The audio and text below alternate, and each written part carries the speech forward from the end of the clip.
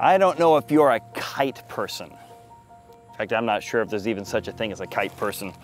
But we used to do kites as kids in our backyard, and I think the last time I flew a kite was with my family about 10 years ago. We went to the beach. We got there, and all of a sudden, uh, the water was too cold. Nobody wanted to get in. So suddenly everybody was like, hey dad, what are we gonna do now? So we got kites. So we put the kites together and we flew them for a while. And it was fun, you know, for about about five minutes. then uh, everyone let me know that this was not as good as the boogie boarding we had anticipated. But it kind of reminded me when I was a kid, we used to uh, make kites out of sticks in the Saturday or Sunday newspaper. It was always interesting to me as we're putting these things together that we would have, you know, the Saturday funnies uh, flying you know, 50 feet, 70 feet up in the air. I think what struck me most is this transformation that occurred. The transformation that these things that couldn't fly before could be put together in such a way to soar to heights you never would have imagined. It's a similar idea to this that the Bible talks about. The Bible says that we are not to be conformed to the patterns of this world. The worries, the anxieties, the, the ways of thinking, the ways of maybe thinking just about yourself. But instead we are to be transformed. And the word transformed is interesting. The word transformed comes from a Greek word, it's metamorpho. Metamorpho, which is where we get the word metamorphosis, which is the same word of a caterpillar turning into a butterfly. And in the Greek, this idea is if you want to be transformed, if you want to become the best version of yourself, the energy doesn't come from you. It's not like a caterpillar says, I'm going to change into a butterfly. Instead, you put yourself in an environment where what God's already put in you, that God, something outside of yourself, makes you into a new creature. Behold, all things, the old things have passed away, and all things have become new. But even a butterfly, once he becomes a butterfly, he can't fly, right? He can't fly without the wind, air pressure. Well, Jesus says something similar. He says that just like a butterfly needs something else to transform it from that caterpillar to butterfly, he's talking to a leader one named, named Nicodemus. And he says, Nicodemus, the wind blows wherever it wants. No one's ever seen the wind in the same way most people have never seen God. But that butterfly, even once he's a butterfly, there's two things he needs to fly. He needs to hang on tight, somebody pulling him, and two, the forces of the wind, that invisible wind that allows you to soar to those new heights.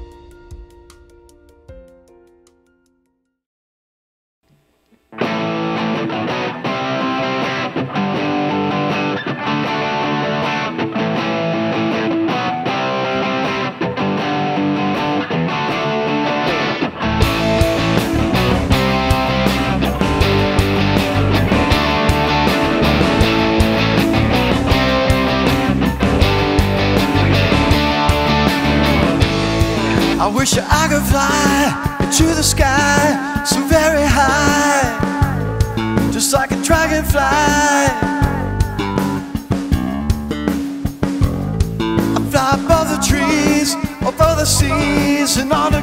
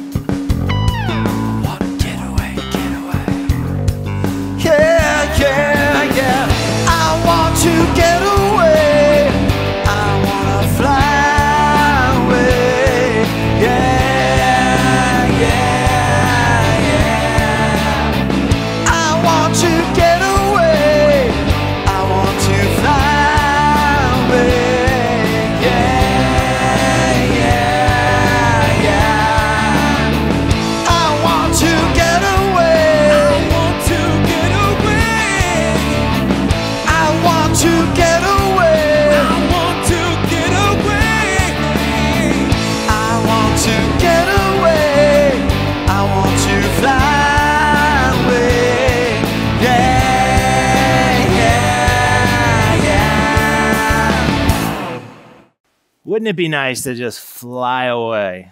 Our band did such a great job with that song, and man, in a year like 2020, it, it would be a fun thing to do. Um, but welcome to Horizon. If you're joining us today on the uh, app or online, so glad you have um, chosen to check out one of our services. Uh, my name is Ryan, and I direct the family ministry here. Um, and today, I'm excited because we're we're starting a new series called Metamorphosis. And this is a series designed to help us as we're all on this journey to becoming the best version of ourselves. And I believe it's something we all want, that we all want to push ourselves and stretch and drive to fulfill our potential to its absolute capacity. So it's, it's going to be a fun journey. And, and who would want to stay on a leaf like a caterpillar when you can take to the skies like a butterfly?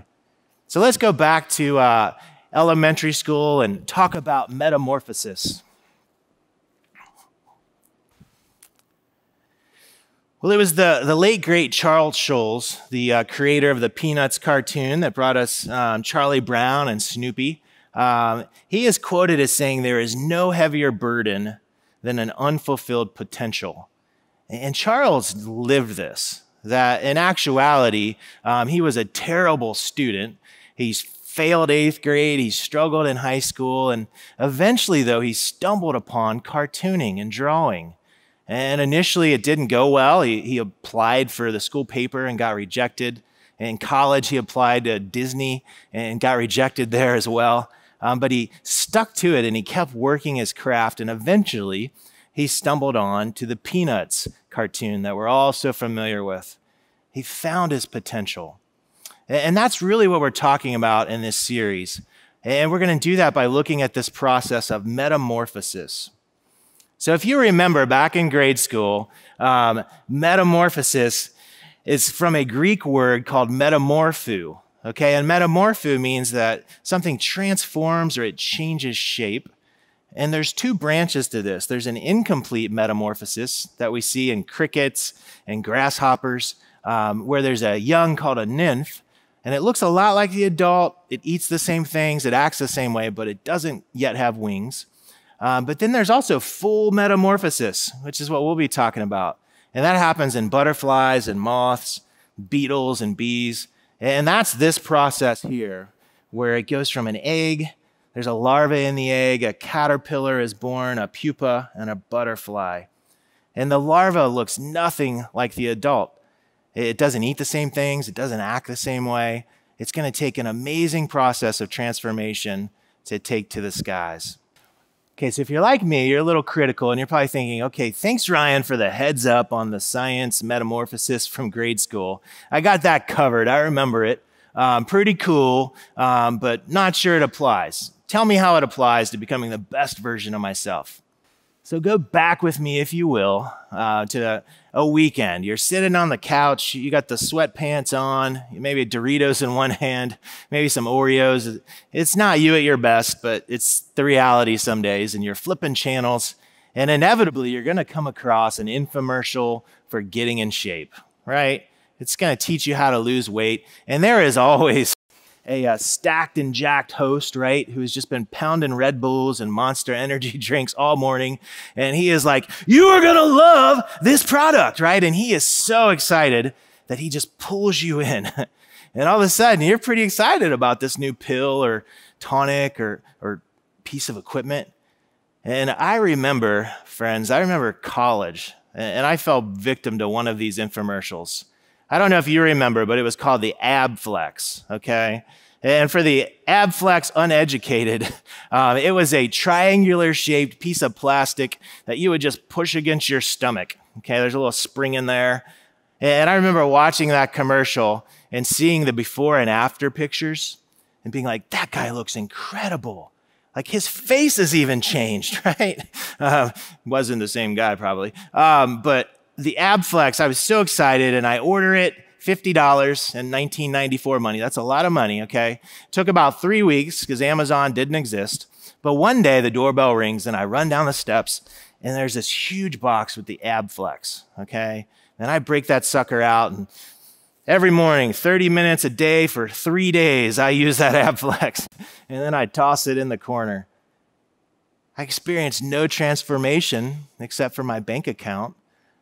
And so often that is what change is like for us. It's, it's frustrating. Well, today we're going to hear from a man who actually lived out transformation. He goes from being a hate filled, evil man who's hunting down his enemies to, to being a man who's filled with love and compassion and who actually will go on to write a vast majority of the New Testament and the Bible. So he's going to give us a couple of lines of advice on how he does this transition in his life. This is in a book called Romans. It says, I beseech you, therefore, brethren, by the mercies of God, that you present your bodies a living sacrifice, holy, acceptable to God, which is your reasonable service. And do not be conformed to the world, but be transformed by the renewing of your mind, that you may prove what is that good and acceptable perfect will of God. So here Paul is giving some advice, okay? And as I alluded to, Paul is a changed man. He has gone from a, a hunter of Christians who would persecute and prosecute them to a basically a, a preacher, an early Christian leader. He's undergone a huge transformation. And his advice, it centers on this word, transformed. And here's what's really cool. It's actually a word that we've already talked about that that word is in the Greek, the word metamorpho, that Paul is saying, hey, you can be transformed through this process of metamorphosis. It's a very cool thing to think about. And the Roman readers, so that's who this was to, and, and Paul was a Roman citizen, they would have been very familiar with this idea of metamorphosis because many of their Greek gods and the Egyptian gods that they studied were shapeshifters. They would change. But what would have stood out to the Roman ear was the fact that he was using it for the common man or the common woman and saying, hey, you too can change. It's possible. And they would have known Paul, they would have known the drastic change in his life, and certainly would have wondered how it came about. Because I think if we're honest, we, we all want that, don't we? Like, we all want to change, we all want to grow as people. Um, it's in our DNA. And, and I don't know about you though. What, what's tough is if I hear about a new book, you know, and it's so exciting. Everybody's reading it, it's changing their lives, and I'll, I'll get that book. Or I'll hear about a new podcast and I'll start listening to that. Or I'll hear about a new diet or a new workout facility. And I, I jump into all of these attempts to transform. And a lot of times I wind up back at square one. And it's, it's frustrating, right? It's like life can feel like a perpetual game of Chutes and Ladders where you continue to climb the ladder and you feel like you're doing better, you're doing better, and then you hit a shoot and you're all the way back down to the bottom. You know, and all you're left holding is a $50 ab flex and some guilt and shame, right?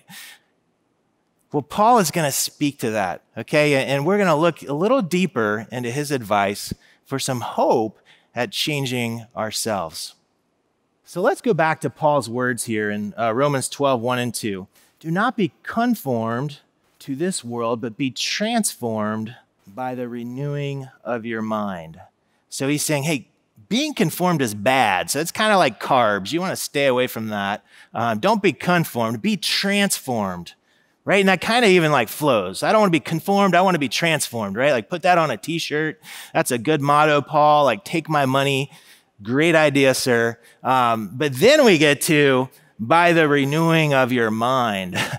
and that's a little confusing to be honest, right? Like I don't know what that quite means. Like is Paul saying, "Hey Ryan, you need to like sit cross-legged and, you know, block everything out of your mind and, you know, just hum or something?" Like cuz cuz that's only going to work for about 20 seconds, Paul. and before I know it, I'm going to be thinking about Starbucks or bunnies or David Hasselhoff. I mean, I don't even know what's going to pop in my mind, Paul. Like, what are you talking about? Well, well, friends, what Paul's talking about here, this renewing of your minds, it's not new age-ish mysticism. It is a renewing of your thoughts. That he's saying, hey, you can renew your mind by renewing your thoughts. And his first piece of advice for us on this is going to be this to identify the eggs of negative thinking. Identify the eggs of negative thinking. Well, what does that mean? What, what could that be? Well, it's amazing that the metamorphosis process starts with a tiny little egg, right? They are minuscule, they're hard to find. But that little egg has amazing potential for both good and evil, for both beauty and danger. Uh, that a same little egg, if you don't know what it is, it could grow up to be a, a beautiful butterfly or it could grow up to be a dangerous hornet, right? Or an egg could have grown up to have been a dinosaur or it could grow up to be a beautiful moth. It has amazing potential either way. And our thoughts are like those eggs. Our thoughts have amazing potential for both beauty and danger. That, that a simple thought can lead us to beautiful things like peace and patience and understanding. But a, a thought also could lead us to harmful things like anxiety and um, anger and just being stuck in a pattern. That there's, there's amazing power in our thoughts. So we've got to identify the eggs of negative thinking. One of the questions that we ask here a lot at Horizon is how often do you think about what you think about? I know that sounds kind of rhymy, um, but how often do you consider the, the record that continues to play in your mind? Do you ever ponder what you ponder? Is another way to say it. Well, it's important to consider, and, and the Bible says this in Proverbs 23, it says, For as he thinks in his heart, so he is. The Bible is quite literally saying, hey, you are your thoughts. Like you become your thoughts. It's interesting. One of the, the cool things about this process of metamorphosis, too, is that when we get to that caterpillar stage, that their DNA strand is amazingly complex that, that within that strand, there's the full DNA for the caterpillar, but there's also the full DNA for the butterfly. They coexist. The difference is, is that the butterfly DNA is deactivated. It's not turned on. It, it just sits dormant until the right time. And as I think about our thoughts, I think our thoughts are a lot like that butterfly DNA, that we have the power to turn on certain thoughts or turn off certain thoughts. That if we continue to turn on the negative thoughts, that just like DNA eventually will produce what it is going to produce, our thoughts will do the same thing in our lives. Thankfully for us, though, unlike the butterfly, we get to choose whether we're going to incubate those eggs or, or not incubate those eggs. So, just like the butterfly DNA that lies dormant, our, our thoughts have that power in our life. That if we continue to think about negative things and we turn on those thoughts and replay them in our minds, that, that just like that DNA will lead to that conclusion, the thoughts will do the same thing. That, that we have to identify the negative thoughts in our mind. And here's the advice that Paul's going to give us on how to do that. Okay, we're back to those same verses. He's going to say, and do not be conformed to this world. Well, what, what does that mean? Um, well, I think he's talking about our thoughts. He's saying, hey, there are thoughts that, that you can replay in your head that are, man, they, they're negative. They're kind of produced by our culture, our world. Um, so some examples could be this. A thought could be, hey, my value to this world, to my family, comes from my achievements right? Like if I'm successful, then I have value. Or another conforming thought could be, hey, my value comes from my appearance, right? Like if I look a certain way and present myself a certain way, then I'm going to feel like I have value. Or, or, another one could be, hey, money will make me happy. Like I, I, that's where I will find happiness, that these are conforming thoughts. And if you think of them as eggs, like let's play one out. Like imagine you have this egg thought in your head of, hey, uh, my value comes from my accomplishments or my achievements. Um, if you incubate that egg and it grows, well, then before long, you're working 18 hour days, you know, six days a week, which on the surface isn't always bad, but it is bad if it, it comes at the cost of your marriage or it comes at the cost of your family or your health, right? That that little egg has potential to grow into to something that can cause a lot of damage in your life. So that's why we've got to identify them. And what's tough, gang, is they are hard to find. Okay, so this is a picture of a monarch butterfly egg, and you may not even be able to see it. So we got another slide where it's circled, but it is this little yellow tiny dot. They are so small that you don't just stumble across them. You've got to really look and know where to find them. And our thoughts are like that. They're they're hard to find sometimes. They're kind of hidden in the layers of our psyche. Um, so, how do you uncover them? Well, some advice I'd love to give you is to start with some patterns in your life, some of the negative, like patterns and actions that maybe you see playing out, or patterns and emotions, and try to work your way back to the thought that spawned that. So here's an example, okay, in my life. Like I, look back at my life and, it, and I think of five or six times where I have this pattern of backing away from challenging situations, okay, where I'm not sure how it's going to go, so I'll just slide out the rear door kind of thing. Um, and one of them was my freshman year of college. Okay, so I, I had played high school baseball and, and, had a pretty good career, and I, I walked on at the University of Cincinnati. Okay, and I go two weeks of walk on tryouts. Um, and if you've never seen those, it's crazy. There's a hundred guys out there, you know, they're all doing their thing. And at the end of two weeks, there's three of us left. But then I started thinking, and my brain started working against me. And I started thinking, well, I went to Madeira, tiny little school, and these guys all went to Division One schools, and I'm not as big as that guy, or that guy's a lot faster than me. And what am I going to say to my friends when I do get cut? You know, well, I need to get a job. And I just started coming up with all of these excuses. And at the time, I didn't have the maturity to really process that. So I just stopped going. I just quit on a lifelong dream at that point of playing college baseball. And as I've unpacked that since then, I've traced it back from that action of quitting to an emotion of fearing failing. I was terrified of it. And the dream that spawned that, though, or the thought, I'm sorry, that spawned that was, I'm not good enough. Like, I don't measure up. And now, in retrospect, as an adult, that was a record that I allowed to play in my head far too often through adolescence. And when it was incubated and gave birth, it gave birth to something that now I regret. Um, so that's a, a good example of why it's important to find these.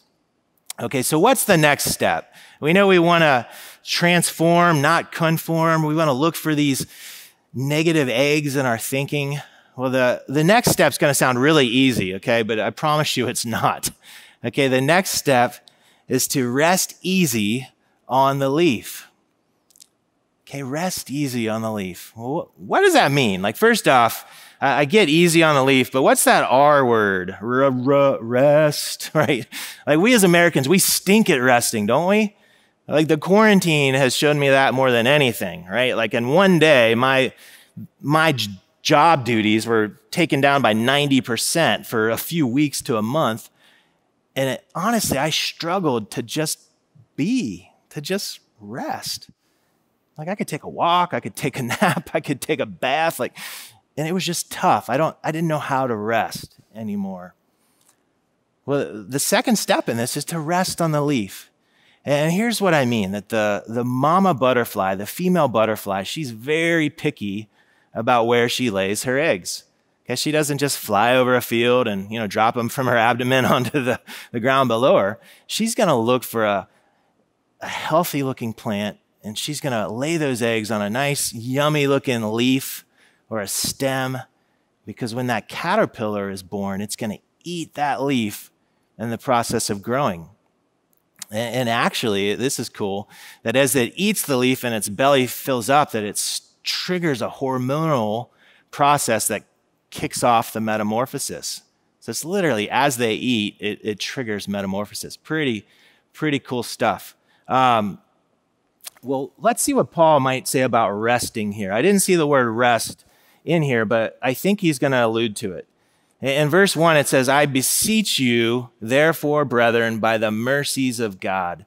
And just uh, beseech, that's just a word that means invite. I uh, beg, implore, encourage you. Um, and then we hit therefore. And one of the things I've learned about language over the years is that when there's a therefore, it is always there for a reason, right? Like it's about to, to either imply on something that's already happened or allude to something that's going to be said and, and say, this is very important. And in this case, it's talking about the five words by the mercies of God. That Paul is saying here, hey, everything I'm about to say, the transforming, the conforming, the renewing your mind, it's all going to happen by the mercies of God. Like he is the initiator of this change and, and he's going to be the finisher of this change, okay? That he is like the mama butterfly and, and he is looking for the perfect place to plant you and he's going to put you on a leaf where you can grow.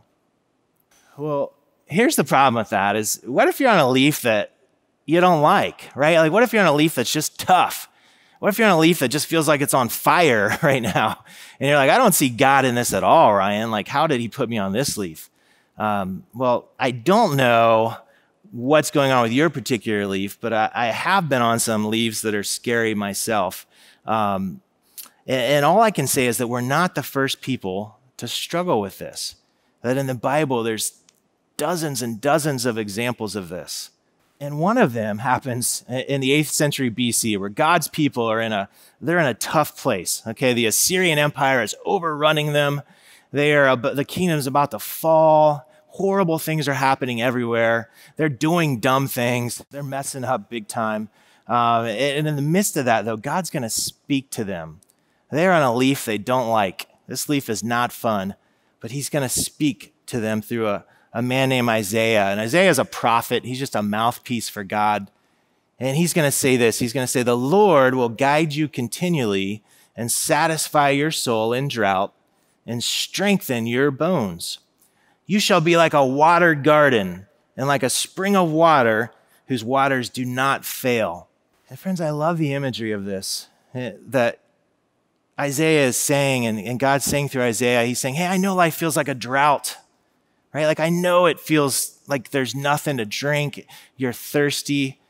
Other translations of the Bible use the phrase the scorched earth. And I love that because I'm like, that is, that is 2020 in a nutshell, right? That we, we are in a drought. We are in this scorched earth right now and it's, it's tough. But God's going to also speak gently to them. And look at these words. These words are amazing. He's saying, Hey, I will guide you continually and satisfy your soul in drought and strengthen your bones. You're going to be like a watered garden where the waters don't fail. That, friends, often we, we don't know why we're on the leaf we're on. We don't know why God's asking us to kind of fill our bellies with that circumstance, if you will. Um, but often we can't see everything. We can't see what God's doing. So I'm going to try something here with y'all. Okay, so go with me. I'm going to try a little, a little experiment. We'll try to bring a little science to the Horizon stage. So we're going to try this. This beach ball is going to represent our lives, and the leaf blower is going to re- represent the, the hand of God in our lives. So let's see what we get here.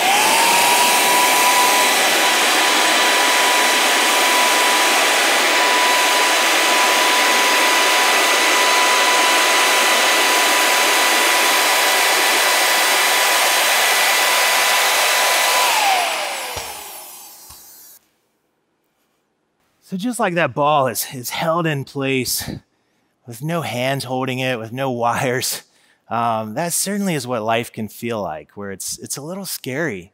But the promise from God here in Isaiah is that He's going to hold us, hold us right in His hands, whether we feel it or not. So we've got to identify the negative eggs. We've got to rest easy on the leaf. And the last step here is we've got to begin to chew on new thoughts right? That the thoughts that have been going over and over again in our heads, they're the thoughts that have gotten us to where we are in life right now. So if we want to change, if we want to grow, we're going to have to think new thoughts, right?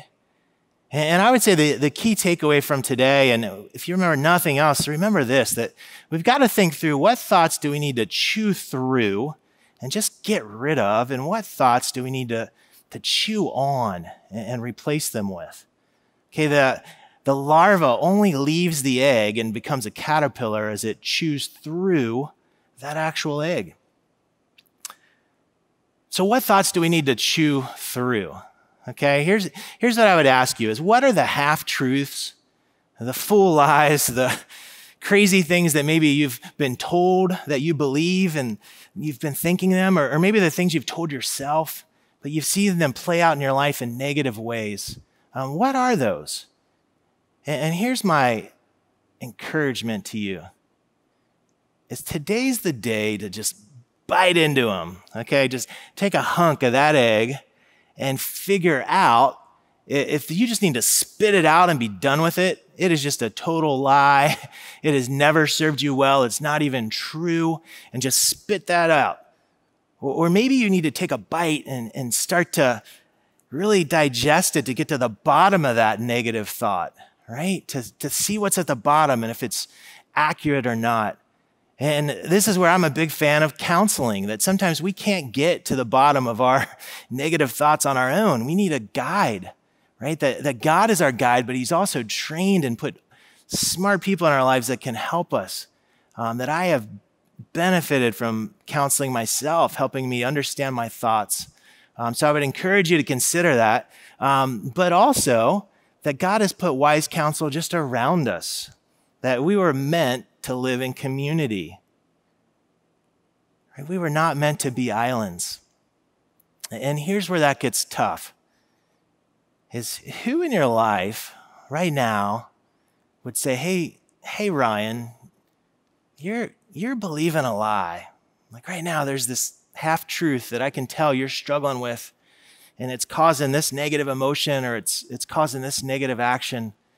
Like who who in my life can speak that to me? I know that's a that's a big ask and a big question, but it, those people only come about through community and connection. right? Like they don't just mysteriously pop up at your door one day. You've got to actually step out courageously to connect. And I know it sounds like sometimes a uh, an infomercial of our own as we talk about the ways to connect at Horizon, um, but it is that important that only through connecting do you you get wise counsel from people on the race with you. Um, but there's so many ways to connect here in community that we've talked about authentic manhood, which is coming up soon. We've talked about the fact it's going to be a man and his marriage, you know, starting on September 13th. There's women's groups to connect to there's a whole variety. And, and yeah, you can find info on the web and call in the office, all that stuff. But here's my invitation is, is come grab me or, or come grab Chad or Drew or John or Tammy. There, there's a lot of us who could personally walk you and connect you to a community where you could become known, where you could have help figuring out the eggs, the thoughts in your brain that maybe you need to chew through and spit out. Okay, but we're not done. We're almost done, but there's one last step that we know that anytime you're replacing a bad habit, you got to replace it with a good habit, right? You can't just have a void there. Um, so Paul actually speaks to that too at the end of verse 2. He says, You're, you're going to be transformed by the renewing of your mind so you may prove what is that good and acceptable and perfect will of God. So he's saying, hey, as your mind is renewed, as you transform, as you go through this metamorphosis, you'll be able to prove what the, the will of God is. And, and to me, that sounds like a big, a big ask by Paul. Like, I, I don't know what the will of God is, right? Like, that sounds almost crazy. Um, but, but here's how the will of God works there's the, the sovereign will of God. So, so that's going to happen no matter what. We can't stop it.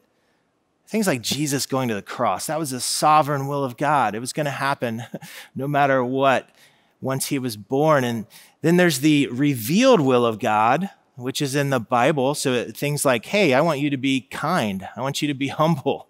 I want you to uh, be faithful to your spouse. Um, I want you to be generous. And the revealed will of God doesn't always happen because we play a part in that. But the, the last one is what I would call the, the personal will of God for, for our lives. That as we find this renewing of our mind, that our, our thoughts start to become better thoughts.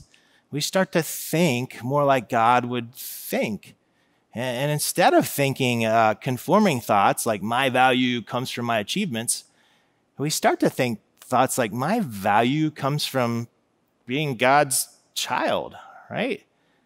Or, or conforming thoughts like, hey, the, or the thoughts from God of like, hey, the God of the universe knows me completely and he loves me completely. Or good thoughts like, hey, God is going to guide me out of the drought. He's going to guide me out of the scorched places in my life if I'll let him. Well, friends, that, that's the promise from God in this. And that, that's the promise of metamorphosis. That, that if we will let him, if we will try to identify the way we think and we'll let God renew our thoughts, renew our minds, that we'll start to just think better thoughts on our own. Sort of like if you started trying to eat healthy, where after a while you just start to kind of crave carrots. You don't know why, it just starts to be where, where you go. Um, well, that's the promise from God. And it's never going to happen overnight. You're not going to wake up one day and feel like you're a butterfly, um, but it's a journey of a lifetime that God offers to us. So I hope you'll consider that today. And we want to thank you for joining us here at Horizon. And uh, we look forward to seeing you again in the future.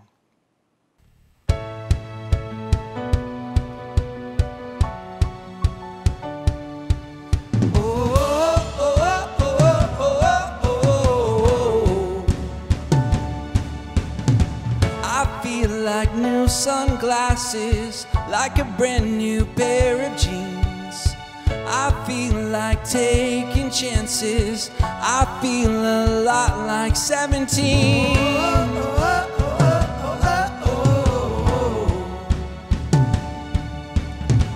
I feel like windows roll down, new city streets and cabs. I feel like take me right back when we were kids. Never thought I'd feel like this.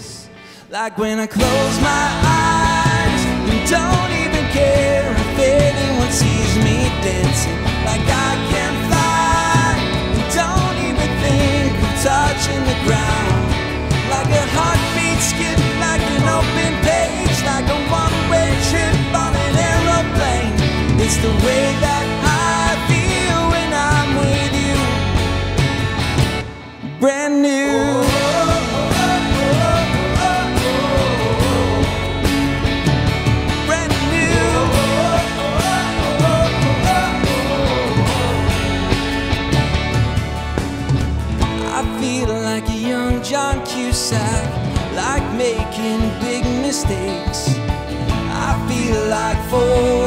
first time in a long time, I am not afraid. I feel like a kid. Never thought I'd feel like this. Like when I close my